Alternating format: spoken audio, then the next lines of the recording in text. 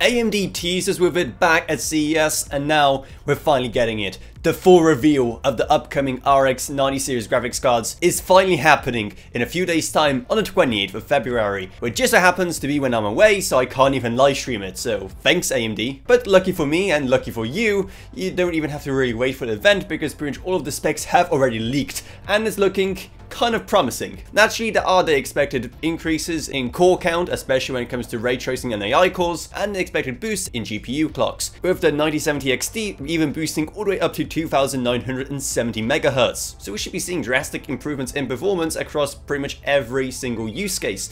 However, especially ray tracing is going to be interesting, given how it's an area where Team Red have traditionally struggled against Nvidia. However, from the early leaked benchmarks we've seen, it looks like AMD may have actually leveled out the playing field somewhat Now both the 9070 XT and 9070 will be using the same 16GB of GDDR6 memory, which is kind of odd given how Nvidia is already on the much faster 32GB per second GDDR7, but oh well. However, we are actually seeing the upgrade to PCIe Gen 5, so your fancy new PCIe 5.0 capable motherboard is finally going to come in useful. And as is always the case, AMD fans are already claiming that this will be the one, this will be the generation when they finally take on Nvidia, when the king will be dethroned and the complacency that Nvidia have shown will finally be punished.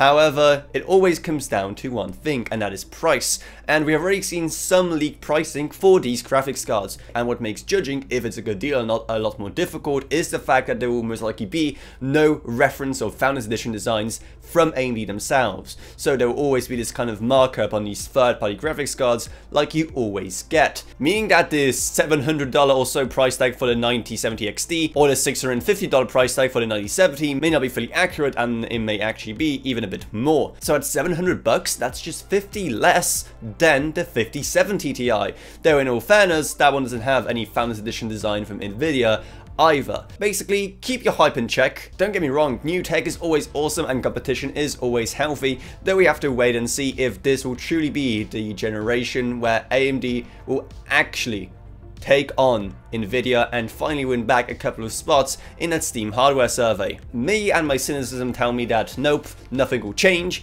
but hey, I want to be pleasantly surprised. But let me know what you think all of this down in the comments below, and maybe check out our Patreon as well, because no matter how these cards end up, our Patreon's always a fantastic deal. Plus huge thanks to Gavin Burns, Justen Rage, Ela Wroniak, Bartosz Welke, Patrick Harrison, not a pseudonym, Mix Omniscient, Allcraft, and Level Up. But anyway, that's about it. So I hope you enjoyed this video. If you did, remember to subscribe, like whatever, and I'll see you all in whatever I make next. Goodbye everyone. Goodbye.